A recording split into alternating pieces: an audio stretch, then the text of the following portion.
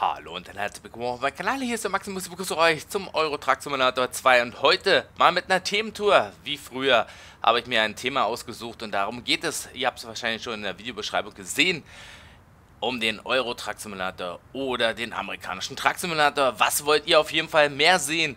Und das soll heute hier das Thema sein. Und jetzt werde ich mit den DAF, mit den Maximus Farben mal eine kleine Runde fahren. Wir werden erstmal die Fracht abholen. Ja, wie gewohnt ich bin jetzt hier in äh, Norwegen und ja, wie gesagt, äh, uh, was ist denn hier los? Ich muss mich erstmal wieder daran gewöhnen mit der Steuerung. ich gebe hier einfach zu viel Gas. Auf jeden Fall ähm, ist das Thema, wie schon angekündigt, was wollt ihr auf jeden Fall mehr sehen, ne? Und da könnt ihr wie gewohnt oben wieder abstimmen. ETS oder Eurotrack Simulator. Nicht so schnell, sonst... Nein! Ich fahre doch gar nicht so schnell. Was ist denn da los? Und ja, klar ist der ATS jetzt neu. Immer noch neu, ja, gegenüber dem ETS. Kann man ja durchaus sagen, dass das äh, doch ziemlich neu ist. Und ähm, ja, da wird es auch die nächste Zeit auch eine Erweiterung geben. Arizona. Auch hier im ETS soll es ja weitergehen. Ne? Südfrankreich DLC soll ja kommen mit dem neuen LKW die nächsten Wochen. Und das bedeutet auf jeden Fall, hier geht es jedenfalls immer noch weiter mit diesem Spiel, mit ETS. Und dann fragt man sich trotzdem, auch wenn das Spiel schon über drei Jahre alt ist, wollt ihr trotzdem, oder viele von euch, mehr den ETS sehen. Das sehe ich ja auch auf den Aufrufzahlen, dass äh, ja, ETS immer noch voll bei euch in vorderster Front liegt. Wir werden erstmal hier die Fracht aufnehmen. Da habe ich was Schönes ausgesucht. Eine schöne Tour, weil ich möchte auch hier noch weitermachen mit der Thementour. Und ich habe mir diesen Container ausgesucht. Ja, wir müssen ja mal Container fahren, ne? So, da ist er. Weil ich möchte ja auf eure Fragen natürlich eingehen oder auf eure Wünsche, besser gesagt. Ne? Weil es bringt ja keinen was, wenn ich Spiele bringe, auch wenn ich die vielleicht gerne spiele. Ja, es gibt ja diverse Spiele, die ich ja ab und zu gerne mal für mich selber spiele, aber wo die Leute das einfach nicht sehen möchten. Ne? Das ist halt, ähm, ich bin eben sehr, sehr geprägt von Simulationsspielen und wenn ich dann halt mal irgendein Strategiespiel bringe oder was anderes, dann, ja, dann ist das bei euch nicht ganz so der Favorite, ne, wo ihr sagt, ja, das gucken wir uns einfach mal an, ne. So, wir werden aber jetzt hier einen kleinen Kreis machen, weil ich möchte auch hier in Norwegen oder überhaupt im Spiel viele, viele Sachen hier erstmal abfahren, um endlich auch mal nicht vielleicht die 100% zu erreichen, aber in der Nähe. Wir können ja mal auf die Karte gehen. Ich habe 62%, also bei den Spielen möchte ich schon mal bei 80% sein. Werde auch nach und nach jetzt äh, einige Sachen hier abfahren. Und das bedeutet, wenn ihr auf jeden Fall mehr ETS sehen möchtet, da habe ich ja auch schon im Vorfeld mal eine Umfrage gemacht. Eurocoach Simulator ist natürlich der ETS, ne? Nur mit Bussen und es sieht danach aus, dass äh, ein Großteil der Leute nach Brasilien möchte. Da bin ich auch noch am überlegen, wie ich das mache. Ob es dann auch so wie so eine Sonntagstour wird, aber dann unter der Woche. Könnt ihr mal in den Kommentaren reinschreiben, was ihr davon haltet. Wenn wir das vielleicht irgendwo dann unter der Woche machen. Dass ihr nicht immer so lange warten müsst, bis Sonntag ist und ich dann die TSM-Map 6.2 dann fahre. Ah, das ist ja, viele freuen sich natürlich immer auf die Sonntagstour. Und ja, wie gesagt, ne, da werde ich mir auf jeden Fall, wenn ETS dann so kommt, also ich habe da so die Überlegung, dass ich ähm, entweder Hashtag oder ich weiß noch nicht, wie ich das unbedingt mache, bei der Umfrage ETS, ATS oder beides gleich viel, ja, dann möchte ich eigentlich immer so in der Woche drei Videos von jeder Fraktion zeigen. Das wäre dann quasi das, ähm, das gleiche. Ja, gleich aufgeteilt.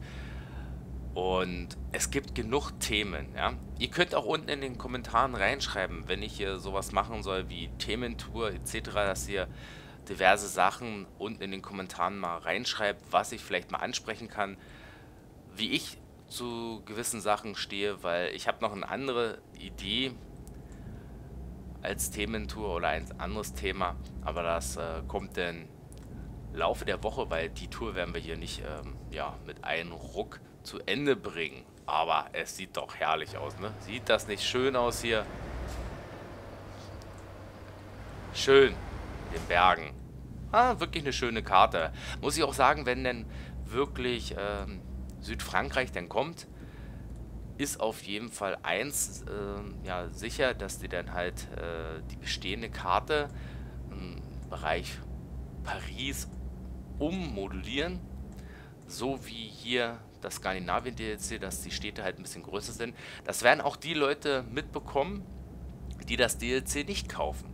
Da für die wird das auch alles umgeändert. Des Weiteren wollen die ja an den Reifen noch ein bisschen was machen. Also, dass man noch ein bisschen was rummodellieren kann und rumbauen. Ja, andere Schrauben etc. alles so reinbauen. Und ich bin auch am überlegen, wenn ich sowas mache wie eine Thementour, dass ich dann meine Standard-LKW nehme aus dem Spiel mit dem Standard, ja, Lackierung ist eigentlich die Lackierung für den Multiplayer. Da wird es auf jeden Fall auch nochmal irgendwas geben diesbezüglich Multiplayer.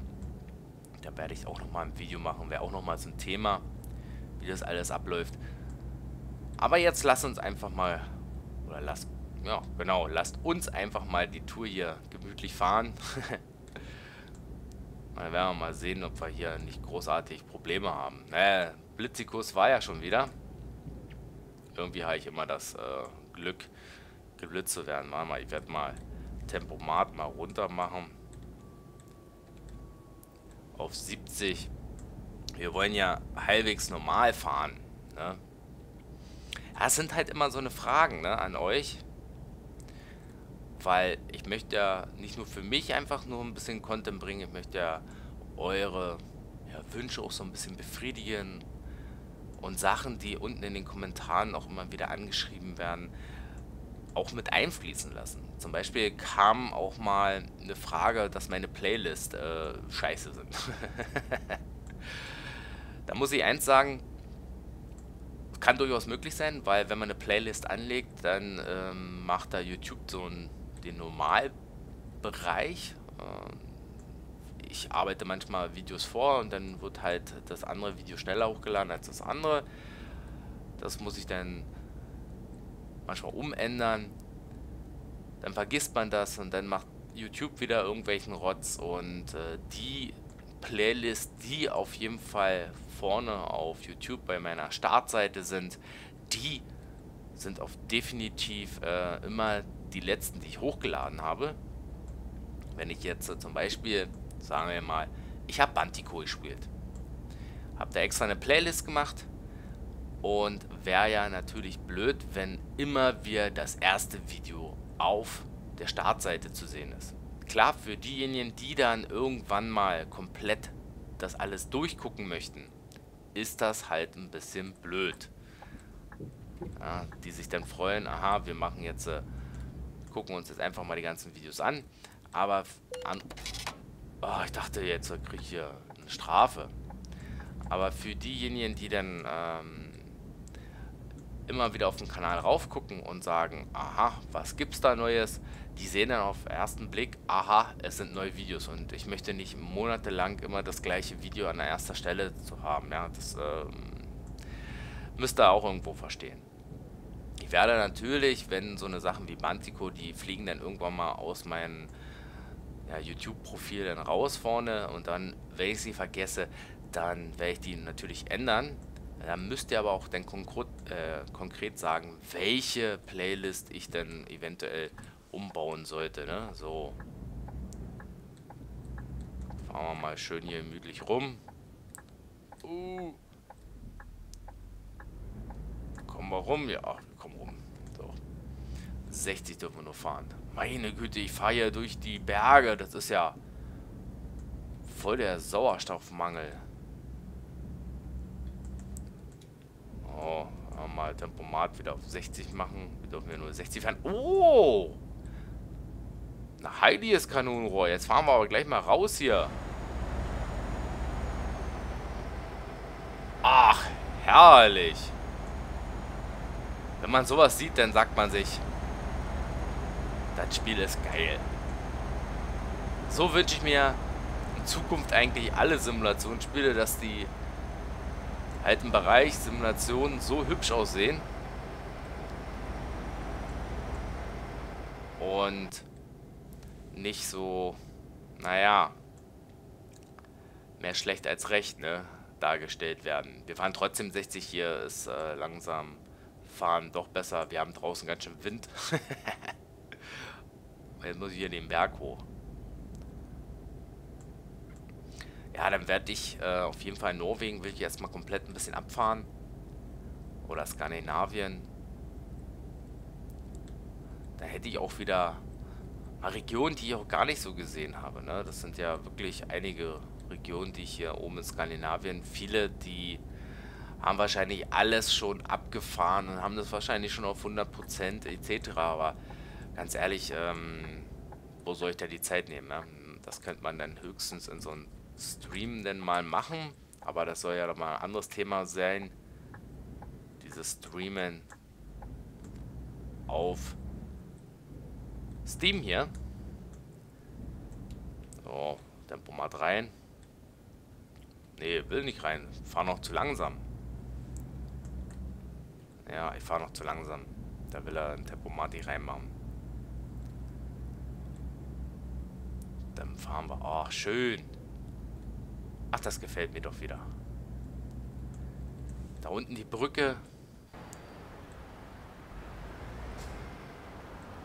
Ja, ja, ja, ja. Gucken wir ein bisschen hier rüber. Ich habe ja auch mal gefragt, ob ihr den Spiegel irgendwie an der Seite sehen wollt oder dass ich hier ab und zu hier so mal rüber gucke. Dann passiert halt ein bisschen was, ne? uh, so wie jetzt, ne? Dass ich halt ein bisschen vom Weg abkomme. Aber es ist schön. Aber nicht viel los hier auf der Straße. Bisschen ruhiger geworden. Und ich bin ja gespannt, wenn der wirklich der Steam Workshop dann kommt können wir uns gemütlich Mods runterladen. Ich werde trotzdem die ein oder anderen dann erstmal für mich behalten und äh, die standardmäßig hier hochladen. Denke mal, das wird so eine gute Mischung werden. Gerade wenn man ja, vielleicht so eine Physik-Mods reinmacht, dann weiß man, aha, die werden immer aktualisiert oder hier die TSM-Map da brauchen wir sich keine Gedanken machen, die wird dann immer wieder aktualisiert oder sonstige Maps. Oder wenn man gerade jetzt für einen LKW was sich geholt hat, irgendwelche Anbauteile, dass man, wie gesagt, sich nie wieder irgendwelche Gedanken macht. Hoffentlich äh, wird dann mein Lieblings-Mod-Hersteller bezüglich der ganzen Pakete da auch ein bisschen was machen in Steam Workshop. Dann hole ich mir die von Jazzy Cat und dann ist da alles äh, im Butter. Dann brauche ich mir diesbezüglich um Frachten und sonstige Sachen auch keine Gedanken mehr machen. Werde sie aber trotzdem immer wieder vorstellen, wenn dann halt irgendwas Besonderes kommt. Jetzt aber rüber. Eieiei, ein bisschen schnell gefahren, ne? Es gibt Ärger mit Mutter. Schön. Wir gucken mal auf die Map, wie weit ich bin.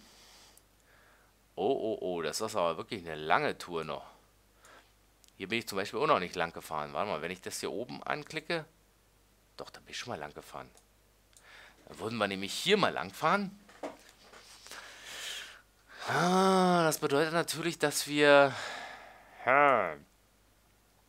dass wir nicht pünktlich werden. Und hier lang... Ja, da bin ich auch noch nicht lang gefahren. Nee, das machen wir weg. Okay, wir probieren mal bis zu dieser Tankstelle, bis zu die hier. Nee, bis zu der hier werden wir hinfahren. Genau, bis zu der werden wir hinfahren und dann weil wir haben heute den 6.3. Das muss ich alles noch rendern und dann hochladen und ja, ja, ihr wisst ja. Kommt auf jeden Fall dann noch eine Thementour dazu. Oh, oh, oh. Uiuiui. Das kommt auf jeden Fall noch. Die werde ich dann im Zuge, also heute noch hochladen. Und dann halten wir hier erstmal an mit dem schönen Truck. So. Motor aus. Gucken wir mal raus. Ja, wie gesagt, ne, ich habe euch gefragt, was wollt ihr mehr sehen? ETS oder halt ATS oder halt beides gleich. Viel, ihr könnt ja auch unten dann reinschreiben, in wie viele Videos überhaupt. Das wäre vielleicht auch noch so ein Thema, wie viele Videos als äh, sogenannte Thementour weil ich möchte die ganze Tour komplett vollknallen mit Themen, die mir die letzten Tage, Wochen und so ja auf der Seele brennen, die ich mit euch natürlich auch ähm, hier abhandle. Und wenn man gerade so ein Feature hat, hier auf YouTube diese Abstimmung und ihr dann quasi dort äh, mit abstimmen könnt, um halt äh, ein schnelleres Feedback von euch zu bekommen und nicht einfach jedes Kommentar ja, zu oder durchzuzählen, ne, ist es halt äh, so ganz einfach. So, das soll es dann aber gewesen sein. Wir machen jetzt erstmal hier einen Fisch. Ich freue mich auf jeden Fall auf eure ja, Abstimmung, auf eure Kommentare, sonstige Sachen. Und mit den Worten macht der Maximus einen Fisch. Haut rein, bis zum nächsten Mal. Bye, bye.